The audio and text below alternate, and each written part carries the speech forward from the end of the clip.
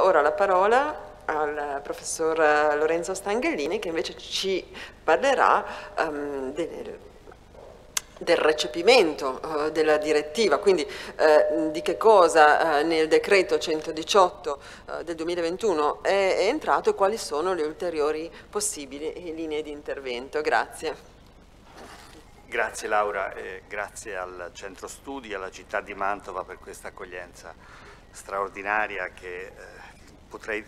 descrivere in, diciamo, con piacere ma che eh, se facessi così ruberei tempo alla, alla, alla relazione. E, allora il, lo scopo della, della mia relazione è quello di provare a illustrare dove siamo con l'attuazione della direttiva 1023 del 2019, di cui ha già parlato la professoressa Scognamiglio, quindi qual è il suo contenuto, eh, è, eh, dove si colloca nel processo di recepimento il decreto legge 118 dell'agosto scorso e poi soprattutto quello che resta da fare e le scelte fondamentali che devono essere fatte e che sono assolutamente allo Stato impregiudicato pregiudicate. Eh, partiamo dal contenuto della direttiva 1023 che eh, magari è utile ripercorrere, che ci servirà poi nel, nel seguito del,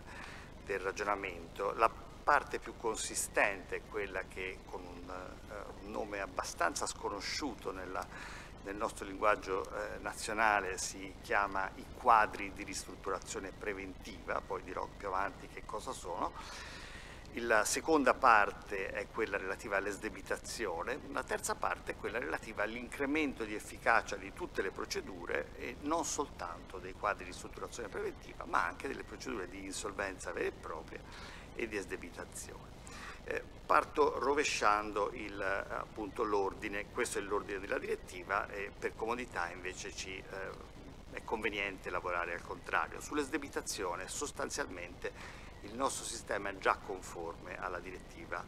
1023. Ci sono piccoli aggiustamenti ma si tratta veramente di eh, sostanzialmente niente. Il codice della crisi più della, eh, dell'attuale legge,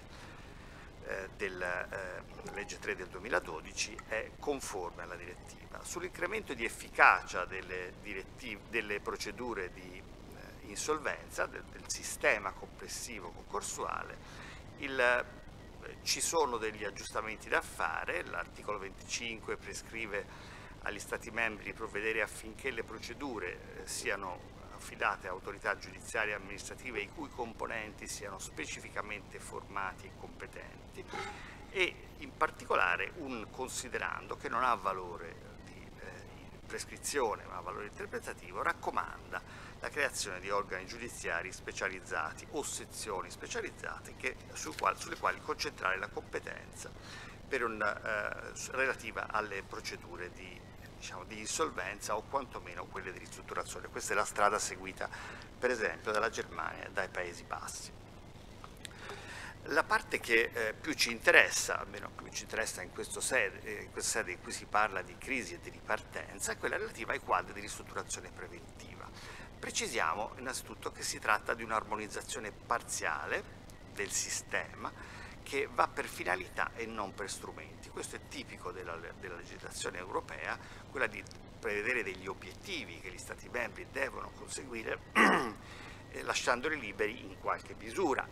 ovviamente purché l'obiettivo sia conseguito, sugli strumenti con i quali quegli obiettivi vengono raggiunti. Quindi la direttiva impone agli Stati membri, poi da ultimo vedremo dove siamo col nostro codice della crisi, col decreto 118, la direttiva impone agli Stati membri di predisporre procedure e strumenti di ristrutturazione preventiva che rispettino alcuni principi minimi di efficacia e non, non ha l'obiettivo di imporre l'armonizzazione dell'intero sistema di procedure e strumenti di gestione della crisi.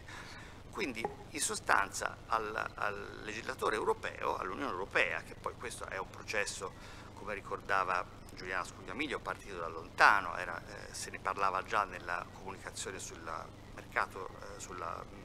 Unione del mercato dei capitali, la Capital Market Union del 2015 e poi ha fatto il suo iter, ma si tratta di un'iniziativa che non ha il carattere di, così, di episodicità, si inserisce in un quadro complessivo in cui l'Unione Europea, per motivi che conosciamo e che io condivido, ma in generale sono condivisi almeno nel nostro Paese, ha la finalità di conseguire creando un mercato in cui capitali e persone fluiscano in modo appunto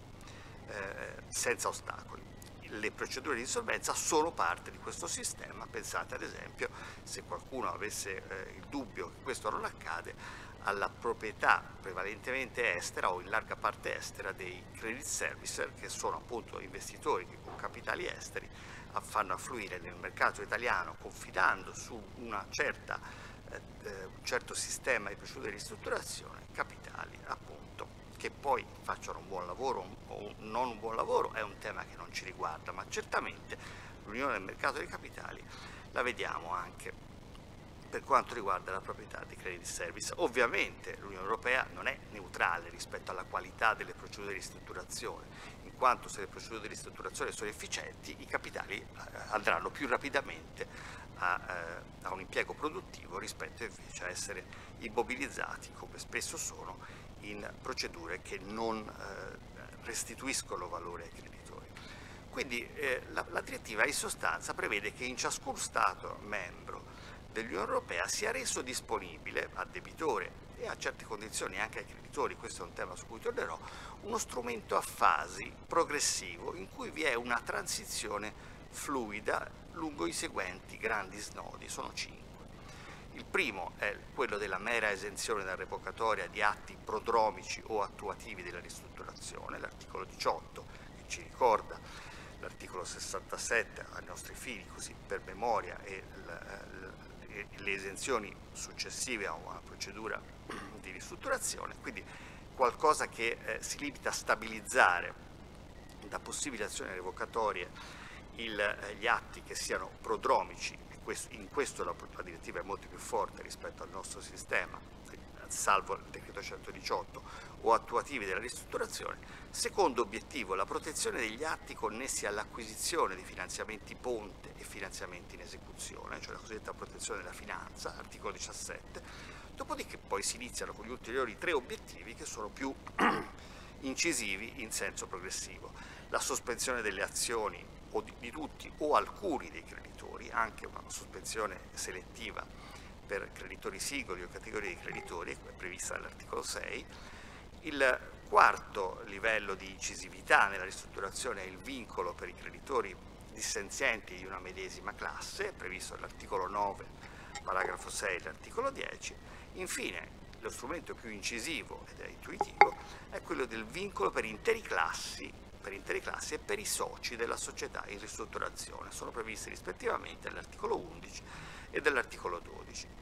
Tutto questo con un limitato ruolo dell'autorità giudiziaria chiamata a presidiare gli snodi fondamentali della ristrutturazione e con un ruolo degli ausiliari da questa nominati che è di ausilio al, e non solo di controllo. La transizione lungo questi cinque snodi, dal più eh, leggero, la mera protezione revocatoria, al più pesante la, il vincolo per intere classi dissenzienti, caso il concordato preventivo, è fluida, nel senso che il debitore avvia la ristrutturazione senza dover essere costretto a scelte di campo iniziali. Quale strumento eh, scelgo? Cioè in sostanza eh, può adattare gli strumenti e l'incisività dell'intervento alle, alle, risultanze delle analisi e delle interazioni con i soggetti interessati, anche le reazioni dei creditori. In, in altre parole,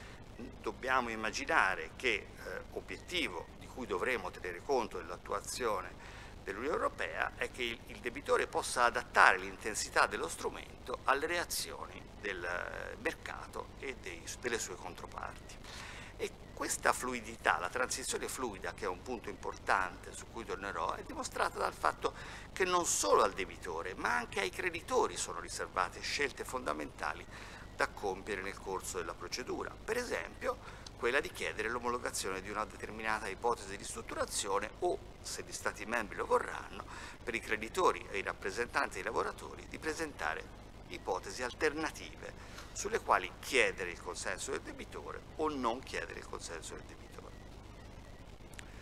Eh, quindi un'armonizzazione per obiettivi. Chi riguarda? Riguarda eh, questa è una precisazione importante, tutti i debitori che si propongano di proseguire anche soltanto in parte l'attività economica in via diretta, quale che sia la natura di questa attività. Può trattarsi di impresa commerciale o non di impresa commerciale, impresa agricola appunto, può trattarsi di impresa o di attività professionale.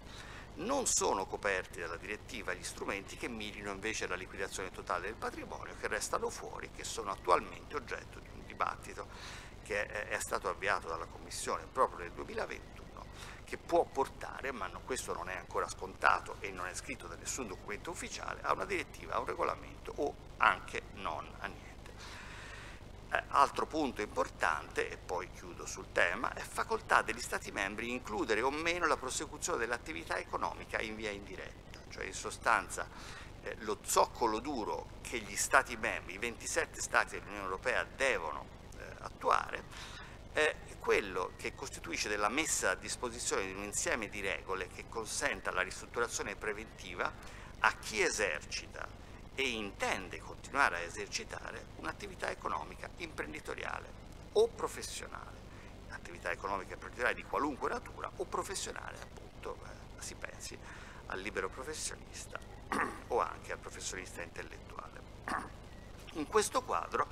gli Stati membri hanno una libertà nella scelta dello strumento. La direttiva, eh, articolo 4, paragrafo 5, può essere attuata dagli Stati membri, questo avrà rilevanza, lo vedremo più avanti, con un solo strumento o con più strumenti, ma a condizione, se sono più di uno strumento, che eh, il, i due strumenti, i due o anche più strumenti, operino fra loro in modo fluido, coerente e flessibile e consentano di adattare l'intensità dello strumento alle circostanze e alle reazioni appunto dei creditori. Il, eh,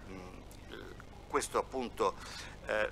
apre anche il tema della possibilità di convivere sotto lo stesso tetto del diritto nazionale di strumenti armonizzati e di strumenti non armonizzati. In sostanza, se l'obiettivo è che venga assicurato almeno un strumento o una consecuzione di strumenti che fluidamente consentono di assicurare i cinque obiettivi di cui parlavo, l'ordinamento nazionale può lasciare anche altri, eh, altri strumenti o procedure non armonizzati che appunto, avrà, possono obbedire a filosofie diverse. Il, eh,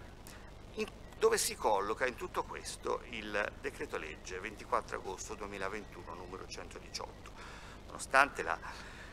l'aspettativa creata da Giuliana Scognamiglio, io non parlerò del decreto, anche perché eh, vi è una sessione, anzi più sessioni, in cui se ne parla eh,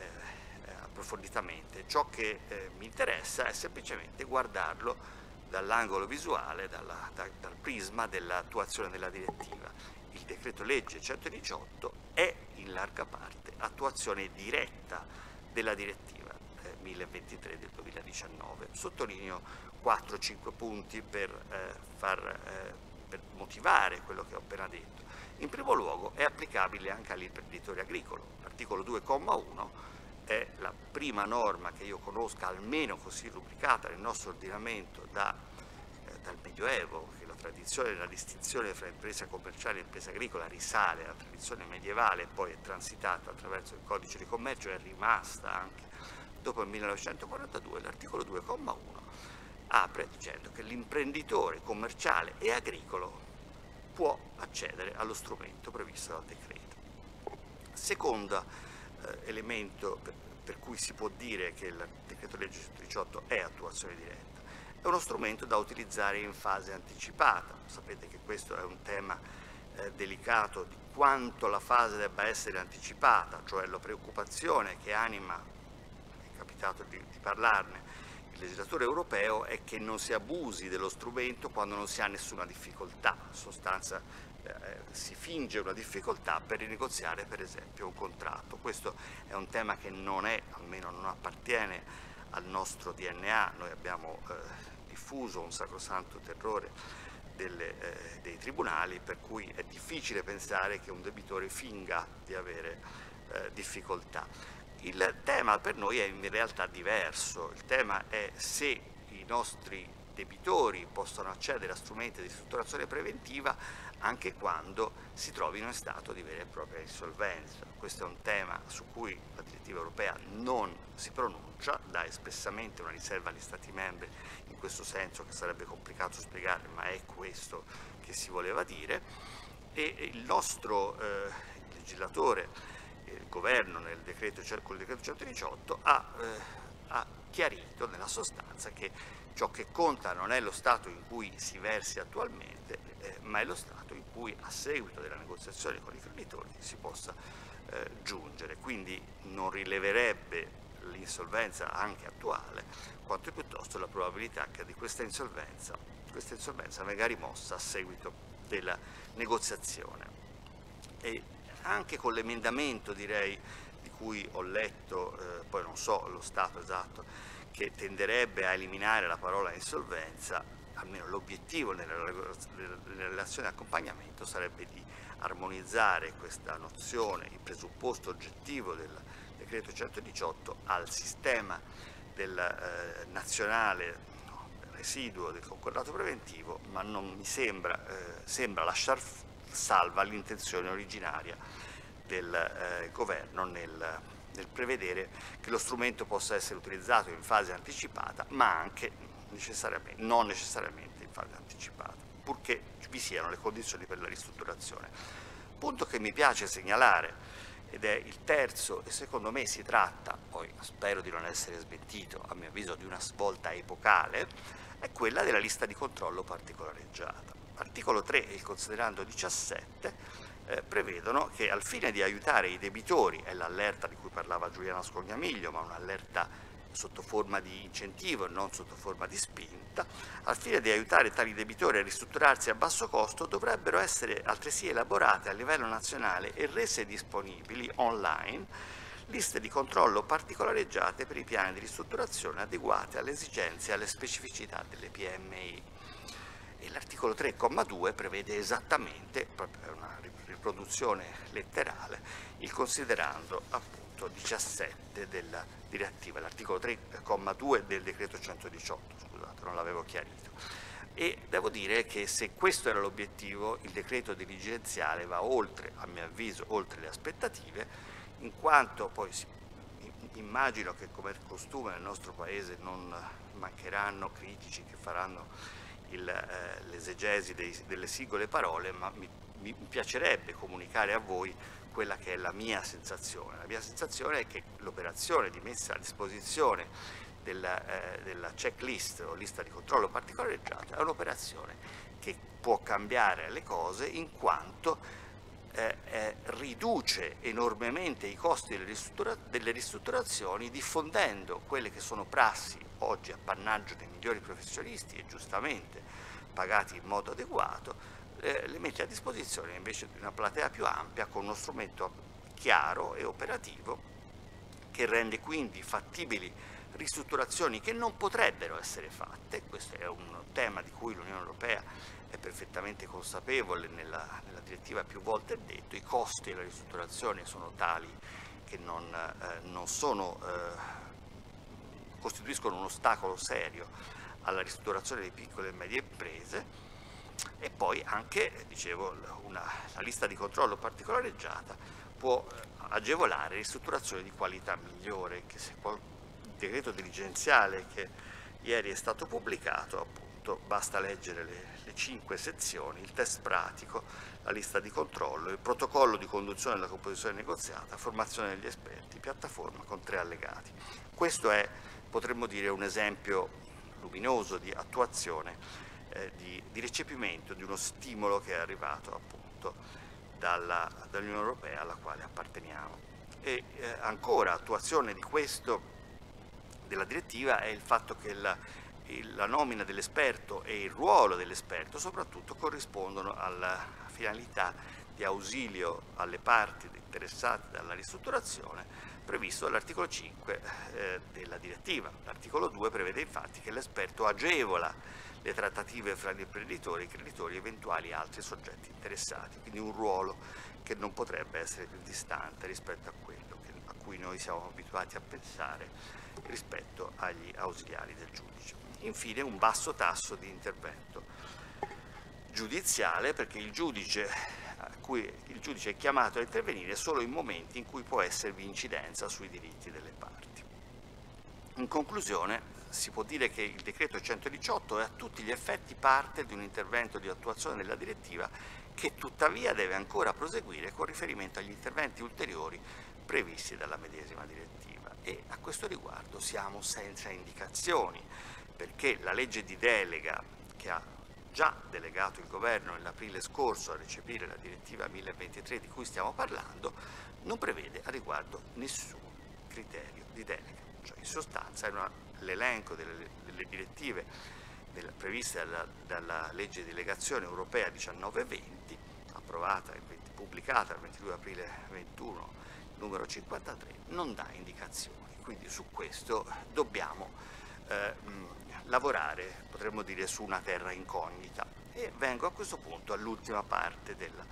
della mia relazione, che è quella relativa alle scelte da fare. E sono tante. Eh, direi che la scelta da fare in apicibus, cioè proprio la, la, la, madre di tutte le scelte, se si potesse dire così, è quella relativa allo strumento o agli strumenti che dovranno essere utilizzati per eh, tradurre in norme eh, nazionali gli obiettivi della direttiva, quei cinque obiettivi. E la scelta fondamentale dovrà essere quella se adottare la direttiva mediante un solo strumento che contenga tutti e cinque i livelli e poi se è un solo strumento, se è uno strumento di nuova creazione, un intero procedimento nuovo oppure uno strumento già esistente, quindi si prenderebbe uno degli strumenti che abbiamo, naturalmente tutti noi abbiamo in mente o la DR efficacia estesa o il concordato, e lo si diciamo, ristrutturerebbe per adattare, per accogliere anche quello che attualmente non c'è. Oppure, questa è l'altra possibilità, è il primo dei due bivi, abbiamo visto un solo strumento e poi a questo punto nuovo eh, o già esistente e quale, oppure mediante una pluralità di strumenti, a condizione però, e questo è un tema importante, che i diritti e le garanzie previste dalla direttiva siano conferiti in modo coerente al debitore e alle parti interessate. Ricordo che al nostro sistema non è sconosciuto il eh, passaggio da uno strumento all'altro, ma è essenzialmente un passaggio in termini di regressione dalla domanda di concordato in bianco all'accordo di ristrutturazione e ora al piano attestato con norma temporanea tuttavia prorogata, ma non è invece eh, conosciuto la transizione in avanti, che purtroppo è quella che è più frequente, perché è ben più facile che le difficoltà si rivelino maggiori di quanto inizialmente programmato rispetto al caso in cui si parta con uno strumento da chirurgia intensiva e si esca con la chirurgia estetica. Bene, quindi eh, il, eh, trago spunto da una discussione che abbiamo fatto insieme a Paola Vella, che eh, ha scritto un pezzetto che mi piace molto citare, fra le ipotesi che abbiamo appena detto, quindi solo strumento, soprattutto uno strumento nuovo, uno strumento esistente, vi è una progressiva relazione biunivoca inversa fra eh, quanto l'intervento sia innovativo e quanto sia complesso. Perché se si, si adottasse uno strumento del tutto nuovo, chiamiamolo quadro di ristrutturazione preventiva, per usare la stessa terminologia, sarebbe eh, abbastanza facile attuare la direttiva proprio perché sarebbe completamente nuovo, non ci sarebbe bisogno di adattare pezzi significativi del codice della crisi e eh, diciamo, si creerebbe appunto eh, un sistema parallelo. Se invece si decidesse, si deciderà di ad, ad, eh, eseguire l'adeguamento attraverso più strumenti di ristrutturazione fra quelli noti, l'impatto sul sistema sarebbe minore in quanto dovremmo, eh, ci troveremmo a eh, fruire di strumenti che già conosciamo, seppure in parte modificati, ma l'intervento sarebbe molto più complesso dal punto di vista attuativo perché dovrebbero, dovremmo, dovrebbero essere coordinati in un quadro unitario tutti gli interventi di ristrutturazione in vista della fluidità e della modularità della ristrutturazione di cui si è detto. In sostanza, se scegliamo un solo strumento, l'unica condizione è che esso assolva tutti i requisiti della direttiva. Se si fa ricorso a più strumenti, occorre che i requisiti, anche se, diciamo, se rispettati in eh, strumenti diversi, dovrebbero integrarsi in modo tale da dare quel passaggio fluibile. Ulteriore problema, quale che sia la scelta, se una volta creato il sistema, eh, lo, lo, strumento nuovo riadattato, si eh, debba a, per ripercussione intervenire anche sul sistema già esistente. Faccio l'ipotesi, se avessimo un nuovo, una nuova procedura simil concordato sarebbe abbastanza curioso che quella procedura rispondesse ai più flessibili e amichevoli principi della eh, direttiva 1023 e eh, restasse appunto un articolo 84 che ingabbia il concordato con continuità aziendale da maglie d'acciaio. A questo punto vediamo quali potrebbero essere le linee di attuazione. Ipotizziamo che eh, il, eh, la direttiva sia attuata mediante il concordato preventivo quindi qualora o il concordato preventivo integralmente, mi pare abbastanza difficile perché eh, il concordato preventivo ha sempre un tocco pesante, eh, anche, bisognerebbe ripensare a qualcosa di diverso per, al concordato preventivo, ma se il concordato preventivo sarà individuato lo strumento o parte del sistema di strumenti di attuazione della direttiva, di attuazione della direttiva ripeto, se, perché l'idea è che potrebbe anche essere uno strumento completamente nuovo, allora dovranno essere necessariamente resi coerenti con la direttiva eh, vari, vari, punti, ne, so, ne tocco quattro solo per rapidità, anche perché il tempo a mia disposizione, che ritengo di riuscire a rispettare, però non è più infinito, non è più moltissimo. Il primo è quello del giudizio di fattibilità. Il giudizio di fattibilità previsto dall'articolo 10, paragrafo 3 della direttiva, è, è radicalmente diverso rispetto a quello dell'articolo 48,3 del codice della crisi. Nella, eh, nella direttiva si prevede un giudizio eh, e quindi la possibilità di, delle autorità giudiziarie di rifiutare l'omologazione quando il piano risulti privo della prospettiva ragionevole di impedire l'insolvenza del debitore o di garantire la sostenibilità economica dell'impresa mentre sappiamo che l'articolo 48,3 prevede la verifica positiva della fattibilità economica. Naturalmente se un piano è fattibile chiaramente o è chiaramente infattibile non v'è differenza, ma il punto è che il mondo è incerto. Esistono piani chiaramente fattibili, quelli con i soldi in banca normalmente, perché poi di solito c'è sempre un'incertezza, esistono chiari, eh, piani chiaramente non fattibili, ma esiste poi una grande fascia intermedia in cui l'incertezza regna sovrana e allora dire se il malato nella non certezza di guarirlo lo si, eh, lo si uccide subito o invece si, gli si dà una chance, c'è una certa differenza. Secondo punto, i limiti alla continuità, l'ho già detto, la direttiva europea prevede che come requisito unico di fruizione del quadro di strutturazione preventiva vi sia quello dell'esistenza di un'attività economica eh, da conservare. Non vi è quindi un tema di prevalenza dei flussi e della forza lavoro come è previsto all'articolo 84. Tema nuovo, ne accennava Giuliana Scognamiglio, in realtà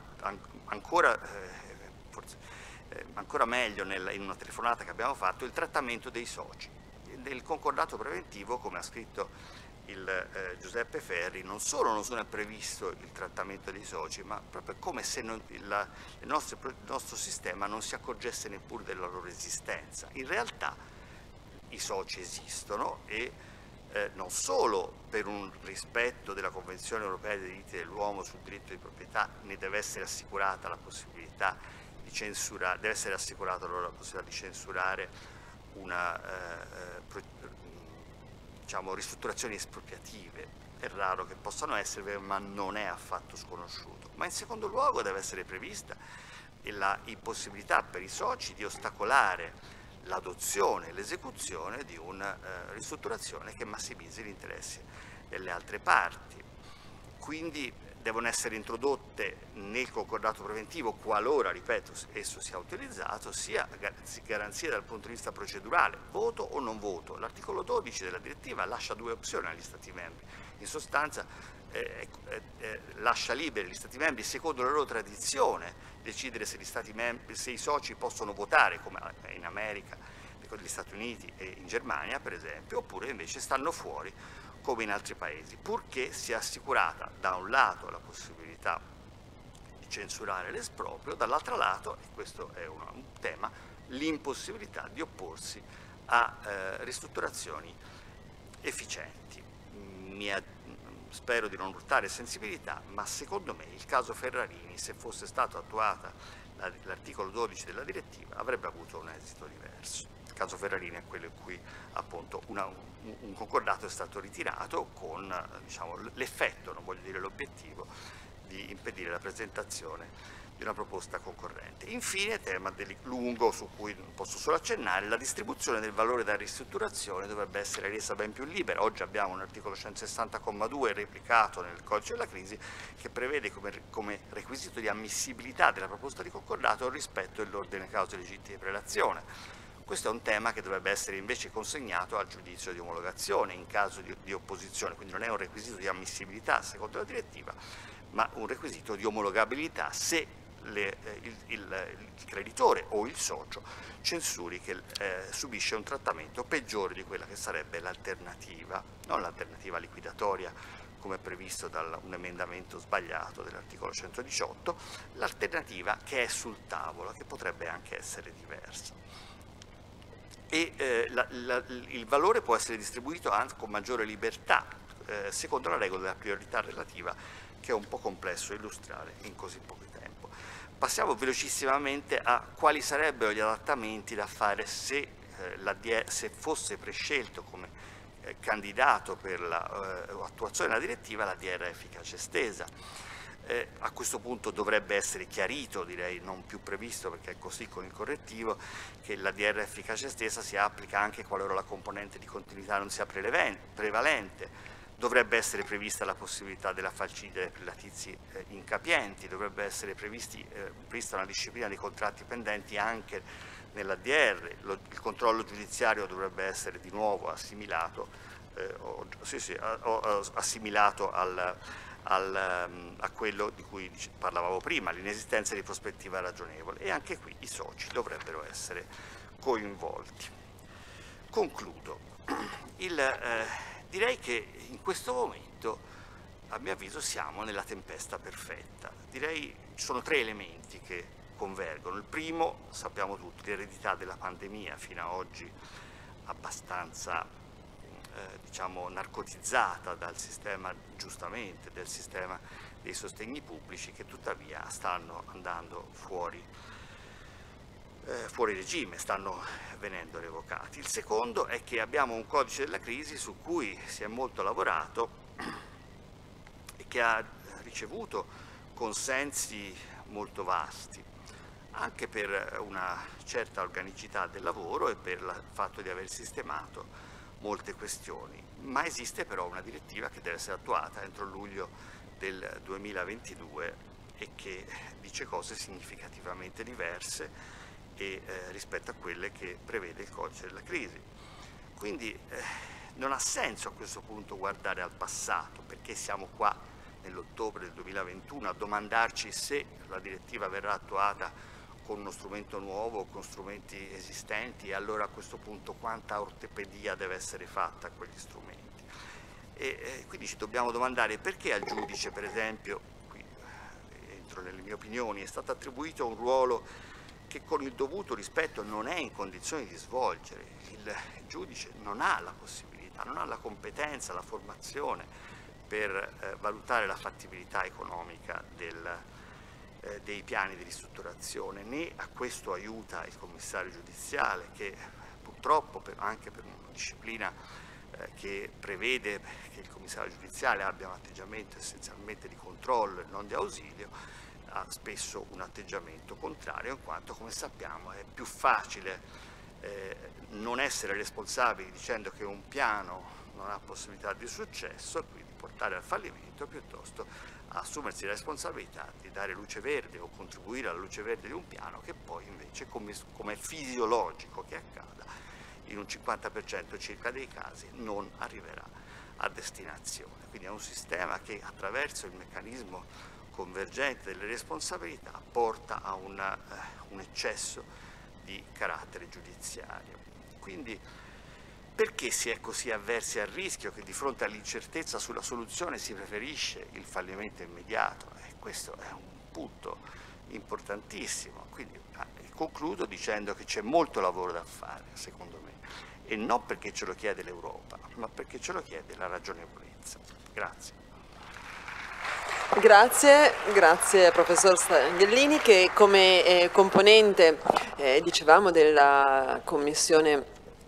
ministeriale eh, che si eh, occupa proprio di eh, effettuare queste proposte eh, ci ha dato oh, un quadro di quelle che potrebbero essere le linee di intervento oh, di prossimo recepimento di questa direttiva. Direi ora di cambiare il tavolo dei relatori e di passare alla uh, successiva sessione. Grazie ancora, allora professoressa Scognamiglio e professor Stanghellini, chiamo al tavolo il professor Insitari e il dottor Alberto Guiotto. Grazie. Sì, sì, sì, infatti perché qui per le norme Covid abbiamo la necessità di mantenerci distanziati. Ancora grazie.